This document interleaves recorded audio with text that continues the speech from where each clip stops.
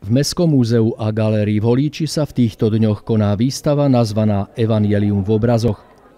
Za účasti domácich i zahraničných hostí ju otvorila 27. apríla slávnostná vernisáž.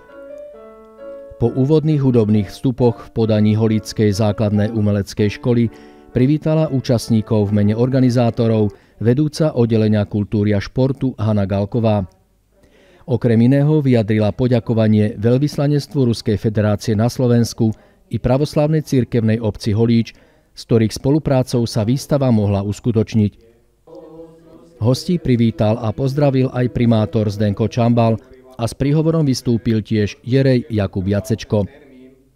Výstavu tvorí 20 drevených ikon, ktoré zhotovil umelecký majster Sergej Perunov z partnerského mesta Malojaroslavec – Umelca a jeho práce priblížil vedúci projektu Vladimír Roslov. Основная цель вот этой выставки все-таки показать христианскому миру Hlavným cieľom tejto výstavy je ukázať ľuďom chronologicky najvýznamnejšie udalosti v kresťanskom svete.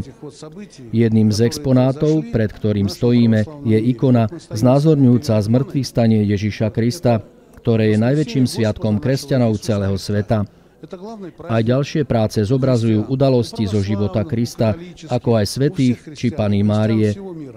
Verím, že po ich zhliadnutí zanechajú v duši diváka hlboké dojmy i presvedčenie, že je potrebné žiť v miery a vzájomnej láske. Zároveň dúfam, že táto výstava prispieje k upevneniu našich partnerských vzťahov medzi Holíčom a Malojaroslavcom. Ruský host venoval primátorovi drevenú sochu Aniela Ochrancu, Mestu Holíč podaroval od vystavujúceho autora ikonu svätého Nikolaja, na Slovensku známeho ako svätého Mikuláša. Holíčania a ďalší návštevníci prostredníctvom výstavy majú možnosť poprvýkrát vidieť expozíciu nevšednú svojim zameraním. Kolekciu drevených ikon doplňa niekoľko zaujímavých exponátov, ktoré zapožičala pravoslávna církevná obec v Holíči. Ja osobne som veľmi šťastný, že takáto výstava sa otvorila v Holíči, pretože je to výstava výnimočná. V čom je výnimočná? Výnimočná je v tom, že vidíme pred sebou obrazy, ktoré nie sú obyčajné obrazy. Sú to obrazy, ktoré nazývame ikonou a v pravoslavnom poňatí ikona je okno do neba. Čiže my, keď sa na ten obraz pozeráme, vidíme nielen tú realitu, ktorá tam je, vidíme za tým príbeh, vidíme za tým myšlienku Evangelia. A preto aj táto výstava je nazývaná Evangelium v obrazoch. Predstavte si, že voľa kedy nie všetci vedeli čítať, čítať a písať. A keď prišli do chrámu Božieho, do kostola, tak tie chrámy boli rozpísané ikonami. A ľudia pri pohľade na tie výjavy mohli čítať celý život Krista Spasiteľa.